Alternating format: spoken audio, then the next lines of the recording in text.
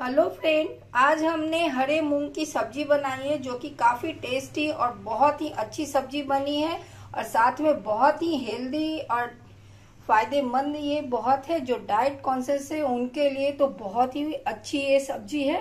तो जो लोग नए आए हैं, प्लीज़ फ्रेंड, हमारे चैनल को लाइक, शेयर, सब्सक्राइब ज़रूर कीजिए वेल आइकन दबा दीजिए जिससे मेरे आने वाली वीडियो की नोटिफिकेशन मिल सके।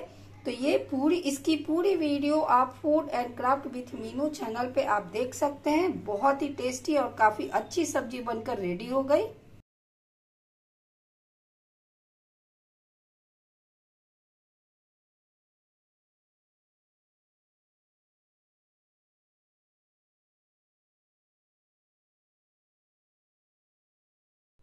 आज हम बनाने वाले हैं मूंग की सब्ज़ी।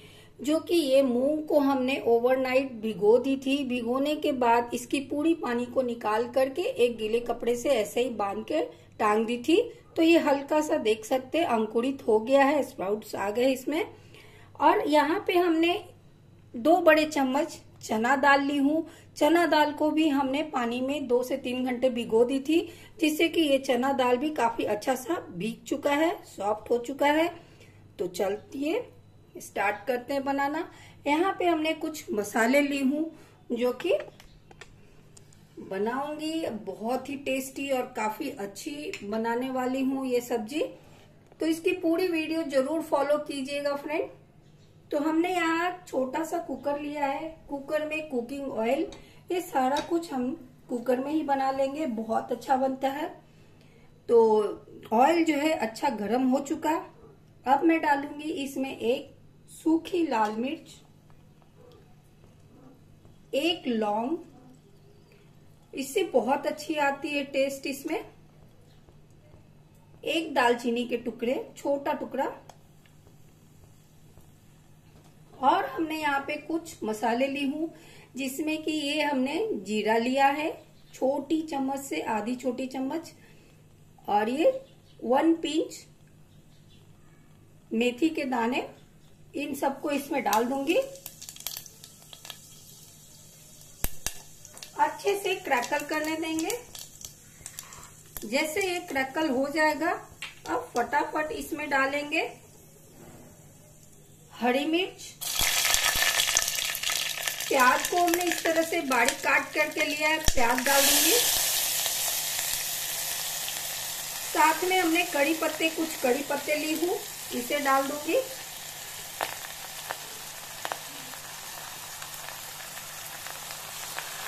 इसे डालकर दो मिनट के लिए अच्छे से प्याज को भून लूँगी। हल्का गोल्डन ब्राउन होने तक प्याज को हमें भून लेना है तो भून के रेडी कर लेते हैं। प्याज काफ़ी अच्छा सा भून गया है, देख सकते हैं, बहुत ही बढ़िया सा प्याज जो है भून गया। अब इससे ज़्यादा हमें प्याज को नहीं भूनना, बहुत ही अच्छी खुशबू आ गई। प्याज भून भून गया बढ़िया सा। अब मैं इसमें डालूँगी कुछ मसाले। यहाँ पे हमने आधी छोटी चम्मच धनिया पाउडर ली हूँ, इसे डाल दूँगी। ये लाल मिर्च पाउडर लिया है हमने, इसे डाल देंगे। आधी छोटी चम्मच हल्दी पाउडर, आधी छोटी चम्मच हल्दी पाउडर लिया है हमने। ये कश्मीरी लाल मिर्च पाउडर ली हूँ, जिससे कि सब्ज़ी में बहुत अच्छा कलर आता है। नमक और ये हमने गरम मसाला ली हूँ, आधी छोटी चम्मच गरम मसाला। इसी समय इसे भी डाल दूँगी। अब डालूँगी इसमें अदरक लहसुन का पेस्ट। सारा कुछ डालने के बाद अब थोड़ा सा पानी ऐड करूँगी, जिससे मसाला जो है जले नहीं। बस इसे एक मिनट और इसी तरह से हमें इन मसालों को अच्छे से भून लेना है। इतना भूनना है फ्रेंड कि इसमें ऑयल थोड़ा सा सेपरेट होने लगे और मसाले भूनने की खुशबू थोड़ी सी आने लगे। तो इसे भूनने में एक से दो मिनट का टाइम लगेगा। तो भून के इसे रेडी कर लेते हैं। ये मसाला काफ़ी अच्छा सा भून गया। बहुत ही बढ़िया कलर भी आ गया है। बहुत अच्छे से मसाला जो है भून कर रेडी हो गया। अब मैं डालूँगी इसमें एक टमाटर, जिसको कि मैंने इस तरह से एकदम ही बारीक चॉप कर ली हूँ। इसे डाल दूँगी। बारीक चॉप करने से क्या होता है फ्रेंड कि ये फटाफट अच्छे से मैश हो जाता है और पक जाता है। तो ये सब जो है बहुत ज़रूरी चीज़ है। ग्रेवी बनाने में बहुत ज़रूरी होता है ये सब।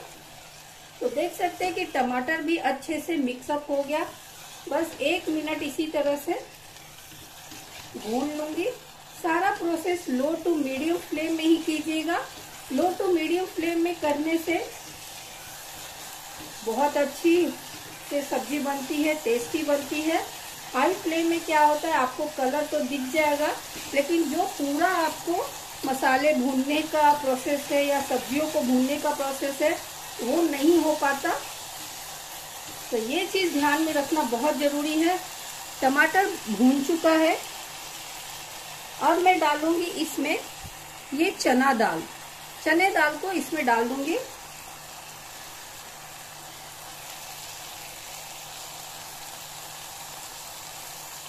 चना दाल डालने के बाद इसी समय डाल दूँगी मूंग को भी। ये जो हमने मूंग को लिया है, इसे भी डाल दूँगी।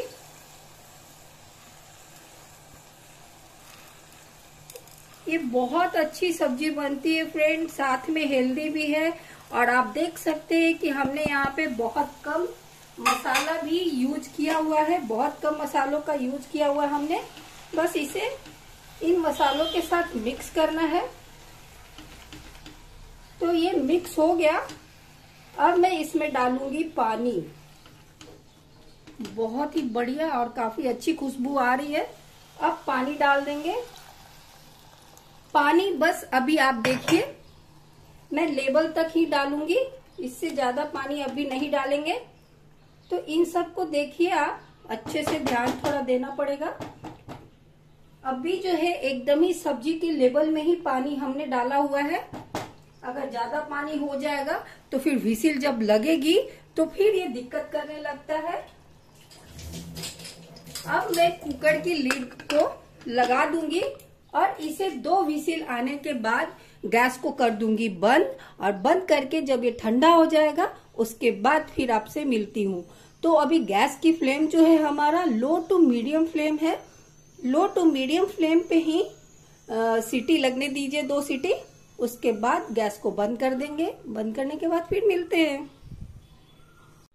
तो ये कुकर ठंडा हो चुका है। दो विसिल लगने के बाद मैंने गैस की फ्लेम को बंद कर दी थी और बंद करने के बाद ये इस तरह का पूरा प्रेशर निकल चुका है। अच्छा सा ये ठंडा हो चुका है। बहुत ही बढ़िया और काफ़ी अच्छा सा देख सकते हैं कि ये पक गया है। बहुत बढ़िया लग रहा है ना देखने में। काफ़ी टेस्टी और बहुत यमी सा ये बनकर रेडी हो गया। देखिए, इसे हम ज़्यादा मैश नहीं करेंगे। बस हल्के हाथों ही मैश करेंगे। देखिए कितनी अच्छी ये सब्ज़ी बनकर रेडी हो गई। तो अब इसे प्लेटिंग करेंगे। प्लेटिंग करते हैं। बहुत ही अच्छा। अगर आपको इसमें ग्रेवी चाहिए फ्रेंड तो अभी आप थोड़ा सा गर्म पानी करके आपको जितनी ग्रेवी चाहिए, उस हिसाब से आप इसे तैयार कर लीजिए। लेकिन ये परफेक्ट है, मैं इसे रोटी के साथ खाने वाली हूँ, बहुत ही बढ़िया और काफ़ी टेस्टी लग रहा है ना ये। तो इसी तरह से आप भी ट्राई कीजिए और हमें अपना फीडबैक कमेंट ज़रूर दीजिए। काफ़ी टेस्टी लग रहा है ये। इसमें जो ये मिर्ची है, इसे निकाल दूँगी साइड में। बहुत ही अच्छी और टेस्टी सब्ज़ी लग रही है, फ्रेंड। खाने में उतना ही और देखने में भी बहुत ही टेस्टी और काफ़ी अच्छी सब्ज़ी बनकर रेडी हो गई। आप इसे पूड़ी चपाती, चावल के साथ इंजॉय कर सकते हैं। अगर चावल के साथ खाना है फ्रेंड तो थोड़ी ग्रेवी तो चाहिए। अगर रोटी के साथ खाना पसंद करते हैं तो ये अभी एकदम परफेक्ट बनकर रेडी हो गई। काफ़ी अच्छा और टेस्टी देखने में काफ़ी अच्छी लग रही है ना? अब इस पे थोड़ा सा धनिया पत्ता डाल दूँगी। ऐसे तो इसमें धनिया पत्ता अच्छा मतलब ठीक है अच्छा लगता है, लेकिन बहुत लोग नहीं डालना पसंद करते। अगर आपको अच्छी लगती है तो डालिए, नहीं तो आप इसे स्किप कर सकते हैं। तो काफ़ी अच्छी और टेस्टी ये सब्ज़ी बनकर रेडी हो गई ना। अगर आपको मेरी वीडियो अच्छी लगती है फ्रेंड तो प्लीज़ प्लीज़ दिल से एक लाइक और अच्छी सी एक कमेंट ज़रूर कर दीजिए हमारे इस रेसिपी पे। बहुत ही बढ़िया और काफ़ी अच्छी ये सब्ज़ी बन गई है। तो जो लोग नए आए हैं प्लीज़ हमारे चैनल को लाइक शेयर सब्सक्राइब कर दीजिए। बेल आइकन दबा दीजिए, जिससे मेरे आने वाले वीडियो की नोटिफिकेशन आपको मिल सके। तो काफ़ी टेस्टी यमी सी ये सब्ज़ी बन गई है। तो मिलते हैं फ्रेंड्स नेक्स्ट वीडियो में। Thank you